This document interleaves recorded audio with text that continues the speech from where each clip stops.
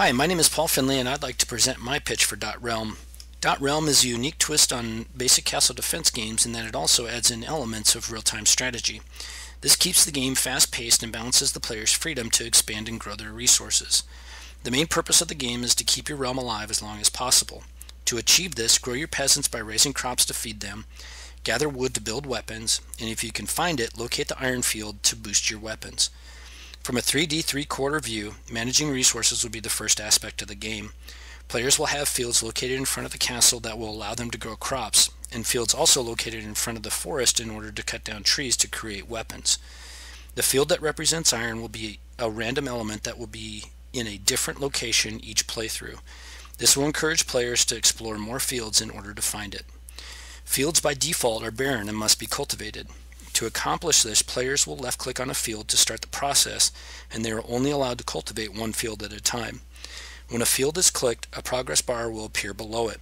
When the bar is filled, the field will change to the color of its resource and start producing. Each resource will be a time mechanic that will accumulate via progress bars located at the top of the screen. Individual fields will produce at a set speed, but players are allowed to choose to cultivate more fields to speed up production for each resource. The pace of the game will be controlled by the changing seasons. This will be a constant time mechanic and cannot be changed. This will give the game a sense of urgency, being the player will start in summer and will only have three seasons to prepare for confrontation. Springtime is the time for battle, and each attacking force will be random, ranging from a small army up to fighting giant dragons. Battle switch the game into castle defense mode. A pop-up screen shows the player the size and type of the enemy attacking, and they will have a slider bar to delegate how many peasants they want to fight. Having weapons built will increase damage output, and iron will up that as well. Players will only control how many peasants to send into battle, but each individual dot will have a random timer that triggers the melee me mechanic.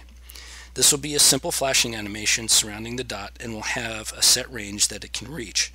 Dots will also be programmed to migrate towards any remaining enemy until the army is destroyed. If the player wins, a victory screen lets them know how many peasants remain, and then they are placed back into the main population. If the player loses, the battle camera will follow any remaining enemies as they work their way towards the castle. Any field that is touched by the enemy unit will be destroyed and set to the default state. As the remaining troops get closer to the castle, they will be met with the last line of defense. Archers are in the towers but can only reach the first set of fields. Arrows will be programmed to strike the enemy that is closest to the castle and will have a set attack strength and speed. If any enemy unit makes it to the castle gate, they will start killing peasants inside. If they kill all the remaining peasants, the player loses. The randomness of the attacking enemies will always bring a sense of urgency. Players may have a few quiet years, but could be decimated by one big force or dragon. The biggest risks for this project are the scope and balancing of the two genres. The most time-consuming aspect will be the mechanics. Field cultivating, peasant and weapon growth, battle mechanics, and bug fixes will absorb the majority of our pace. Keeping the aesthetics and animation simple will help keep our focus in order to finish on time. Thank you for your time. Please let me know if you have any further questions. Created using Powtoon.